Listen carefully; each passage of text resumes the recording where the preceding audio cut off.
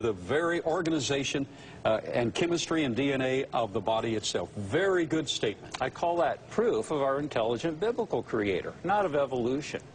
And one of the keys, and you know this, but most folks don't understand this, Dr. Baugh, is that every old Earth belief is, is based on a belief that the Earth's sediment layers that make up the crust form slowly over billions of years. Well, there's sedimentary layers that were laid down by water. Ooh, that might be a hint. Oh, yes, there. And we have on this program examined some of these sedimentary layers that mm -hmm. actually circumnavigate the entire globe. They encompass the entire globe. In order to have sedimentary deposits, you must have waterborne activity. Exactly. So this screams a global flood. A global flood. But that is ignored by the geologic community at large, even though we have very fine geologists who hold to Earth as being created the worldwide flood, and a young history to all of it. And just so the, the viewers know, they have to deny the global flood because if there was a global flood, it wipes out every old Earth belief, which are all based on the sediments forming slowly. Yes. The global flood explains how they form quickly, and thus it's scientific and viable to believe in the young Earth described in Scripture. I, I actually hate to use the term young earth because actually some folks say to me, oh, so you don't believe in an old earth? And I say, oh, I do, I do. I believe it's probably 6,000 years old. It's pretty old. That's a long time. It really is. Anyway, the flood evidences are overwhelming, and actually the only difference between believing in the recent creation and the old creation is how the stratus formed and what event laid them down, and how long yes. ago they laid them down. That's the only real difference, but as we discussed, the crust of the Earth is primarily made of sedimentary layers of rock laid down by water. And of course, they're full of billions of fossils which were buried in the flood before they could rot away. And before the flood, there were ecological conditions this audience needs to know about. Mm -hmm. Greater atmospheric pressure, greater concentration of oxygen and carbon dioxide, greater electromagnetic energy. So it would be consistent that in the fossil record, we would find such things. Tell us about this creature. This is incredible. Well, this is a 15-foot turtle, and we call these giant creatures and plants as well pre-flood plants, or, or excuse me, they call them prehistoric today, and sort of shovel them off to the side like they don't want to talk about them. But I actually call them pre-flood plants and animals because we do find giant creatures in the strata layers and giant plants that are, oh, cattail reeds that grow maybe 10 feet today have been found that are 90 plus feet tall, fossilized. Yes. So we know that the original creation, the pre-flood world, was very much different than the post-flood cursed junkyard we live in today. That's right. Functions so much better. And the reason that's important to understand is we just need to start thinking about how awesome heaven's going to be. It's going to be beyond our imaginations. We don't want to miss agree. it. But the global flood evidence is con consist of geologic compression events where sometimes entire mountain ranges are squished together like an accordion with up to 160 degree bends in the rock. This is one of my favorite photographs. If we have a slow accumulation of these deposits over millions, tens, and hundreds of millions of years of time, you would never get this effect. This exactly. has to be laid down very rapidly. Very and rapidly. that's specifically what we find in the biblical record, in uh, recent creation event, and that, uh, that screams against old age and old earth. Because if they formed slowly, they would have hardened into rock, and the event that smashed them would have cracked them into billions or trillions Certainly. of pieces, but they're not broken. They're they're bent but not broken because yes. they were still moist sediment layers yes. at the end of the flood. Well stated.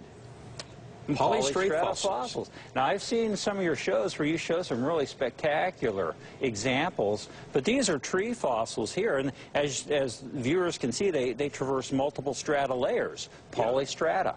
Yeah, yeah. to make this uh, easy for the audience to understand, polystrate, poly means many, strate means strata or mm-hmm. layer, so various living systems, fossils, once living fossils, that traverse, go through various sedimentary layers. If, according to evolutionary theory, depending on which university you graduate from, one inch of this sedimentary layer uh, takes 150,000 to 2 million years to accumulate.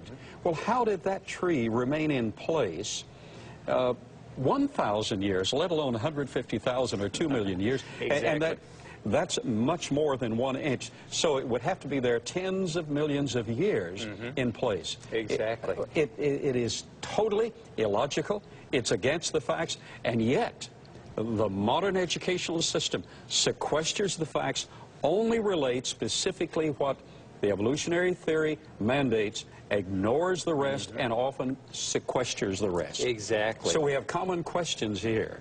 So now these can be explained through the global flood. They they Yes. sank to the bottom after they waterlogged and the layers were laid down quickly. But you know, common questions that we get today, even inside of the church, because for the past 200 years now, people have been trying to figure out how do we fit millions and billions of years of death and suffering into God's Word. And so we've got a lot of different beliefs now that don't come from Scripture inside the church. So what I try to do is to help those folks see the truth so we can good. drop these old earth beliefs. We put death before man's sin. But one common question is can't the Hebrew uh, word for day, uh, yom, some people say yom, but I believe yom is the official definition or pronunciation, also mean a long period of time? Well, now it is true that the word could be used to represent a long period of time, but the context, and we always have to look at, at Scripture in the correct context, always show that Yom is used as a day in the creation accounts. And always throughout classical and biblical Hebrew, if the ordinal, that is a number, if the ordinal, uh, ordinal is in front of the word yom, it is specifically a 24-hour day, Exactly. day, always. And I believe that's almost 359, 360 times in the Old Testament. It always refers to a literal day when used with that numerical prefix. And Yes. only in the, in the book of Genesis does anyone question it. And that's because they're trying to fit secular beliefs in millions of years into the Bible. Some of the evidences of the young Earth, though, are really quite spectacular. We talked about the polystrata fossils and the geologic mm-hmm. compression events, but carbon dating measures carbon-14 in organic remains, and scientists that work with the dating methods, they pretty much agree that the carbon-14 that they're measuring would decay away and be gone in somewhere between 50,000 and 100,000 years. Certainly years. less than 100,000. So let's give them 100,000, though, just to be generous. Sure. And what we found, though, today, research finds that all fossil-bearing layers to the bottom of the Cambrian, which is supposed to be, what, 580 million years Supposed to old, be.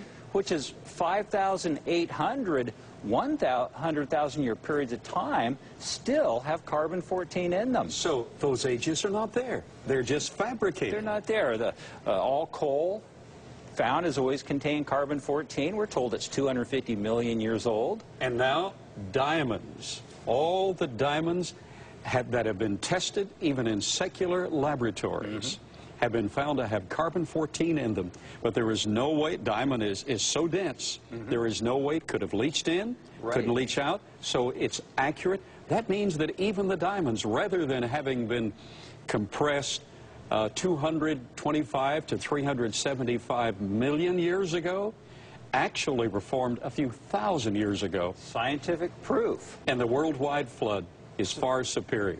Now, as Well- you know, because you pointed out the hardness of the diamonds, the secularists try to say, well, it was contaminated with carbon-14, but the studies have been very careful to avoid any contamination, and diamonds don't get contaminated easily right. because they're so hard. That's right, so dense.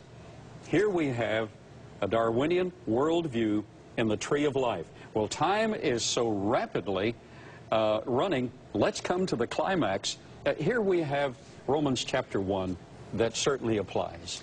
Professing to be wise, they became fools, and they changed the glory of the uncorruptible God into an image made like the corruptible man and birds and four-footed beasts and creeping things.